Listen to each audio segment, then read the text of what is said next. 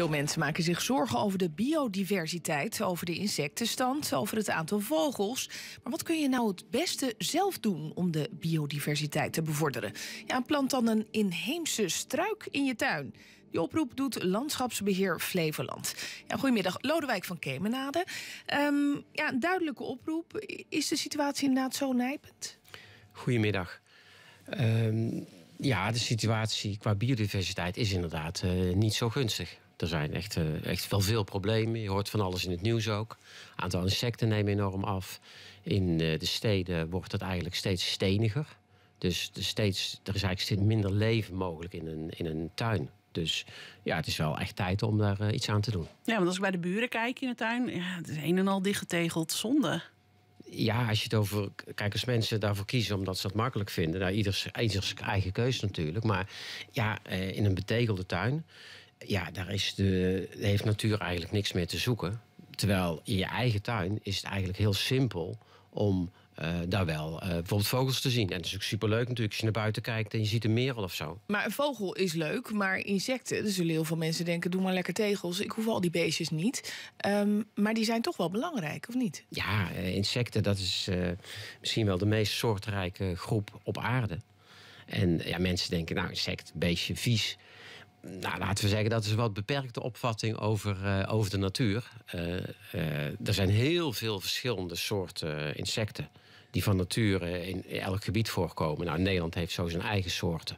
En die hangen dan samen met planten. Dus hoe meer verschillende soorten wilde planten, dat geldt zowel voor kruiden als voor struiken als voor bomen, hoe meer verschillende soorten insecten ervoor kunnen komen. En andersom, als je alleen maar exotische bomen aanplant en alleen maar planten in je tuin hebt uh, die puur sierplanten zijn, ja, dan heb je ook minder insecten.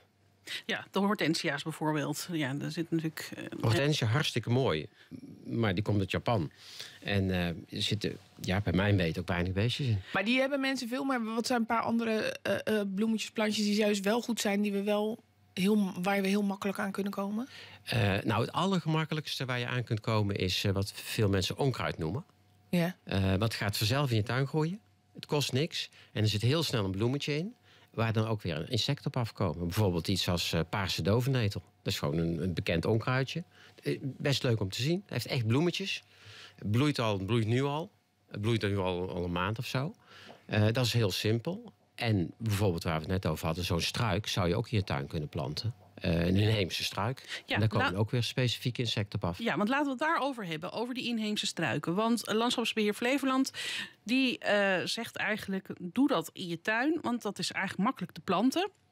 Uh, uh, jullie komen regelmatig dan de komende maanden met adviezen voor bepaalde planten. Nu is het advies: uh, plant een kardinaalsmuts. Wat is het voor struik?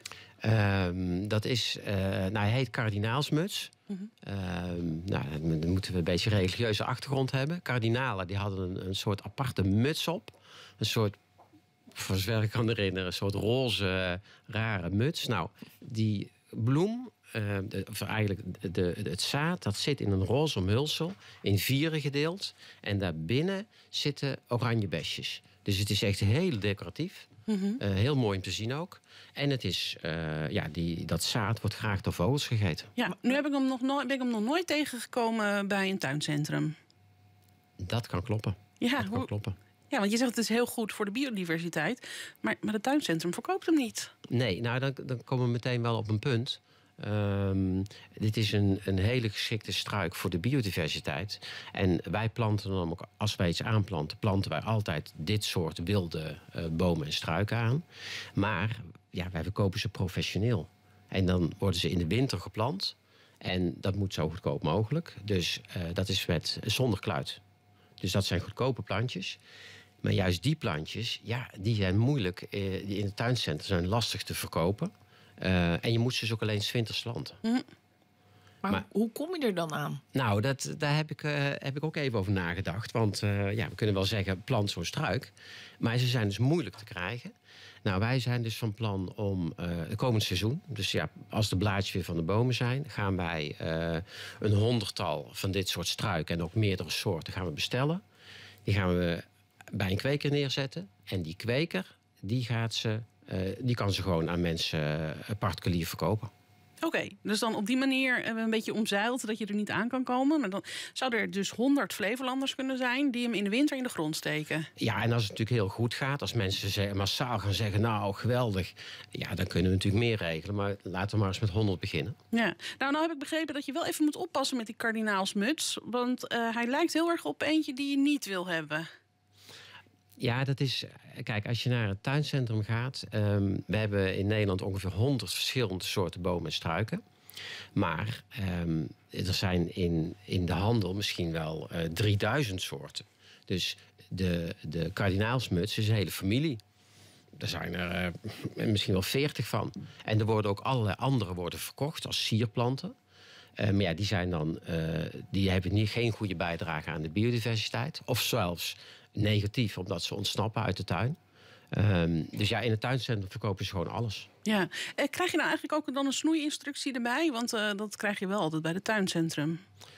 Eh, dat kan, maar wat wij het eigenlijk het liefste zien... is dat struiken eh, hun eigen gang mogen gaan. En voor dit soort struiken heb je wel wat ruimte nodig. Je Ja. hebt echt wel... kijk, een struik grofweg wordt... nou ja, die wordt wel drie, vier meter breed en hoog.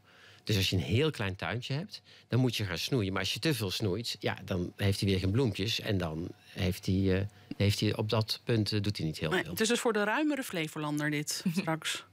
Eh, ja, maar in Flevoland zijn natuurlijk heel veel mensen zijn gezegend met een enorm grote tuin. Ja, want dit is dus de kardinaalsmuts. Wat komt er nog aan? Heb je al ander zicht op andere planten die je gaat aanbevelen? Eh, we hebben volgens mij al iets over de wegendoorn geschreven. Ehm, de volgende soorten weet ik zo niet, maar andere soorten die interessant zijn, zijn bijvoorbeeld de rode cornoelje, eh, de honsroos. Ehm, eh, dat, zijn, dat zijn Ik voorbeelden. ken die allemaal helemaal niet. Nee. nee. Ja, maar dat zijn, die zijn eigenlijk niet zo bekend. Maar een wilde straat, bijvoorbeeld de roos. Nou, iedereen, eh, rozen zijn natuurlijk heel bekend. Maar de veel gekweekte rozen, die zijn gevuld. Dus dat is een, een bloem met heel veel bloemblaadjes. Mhm. Nou, vinden we mooi om te zien. Maar insecten houden daar niet van. Die houden van zogenaamde enkelvoudige bloemen. Een wilde roos heeft, eh, is direct toegankelijk, zeg maar, het stuifmeel. En, ehm, eh, en die, ja, die heeft veel minder van die blaadjes. Dus mensen kweken het, dat ze het leuk gaan vinden om te zien. Maar insecten hebben er dan Maar eigenlijk moeten jullie bij die kwekers in die tuincentra gaan zeggen... maak een afdeling voor de biodiversiteit. Want wij weten dit toch allemaal helemaal niet. Ja, maar dat, dat, is, dat is best een technisch verhaal. Om dat nou betrouwbaar en goed te doen, dat is, dat is niet zo heel simpel. Nou, in de herfst gaan we naar die kweker. We houden Ja. gewoon de site van Landschapsbeheer Flevoland in de gaten. Lodewijk van Kemenade, dankjewel. We gaan allemaal, eh, als je een beetje ruimte hebt in de tuin... massaal aan de kardinaalsmuts. Dankjewel. Oké, graag gedaan.